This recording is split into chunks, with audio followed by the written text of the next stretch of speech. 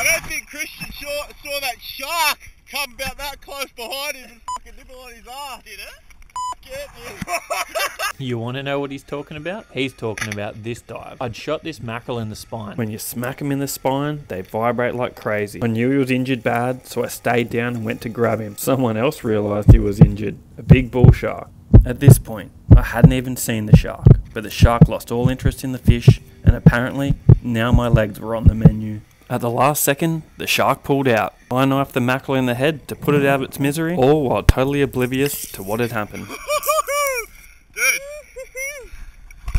I don't think Christian saw, saw that shark come about that close behind him and fucking nibble on his ass. Did it? Fuck yeah, dude.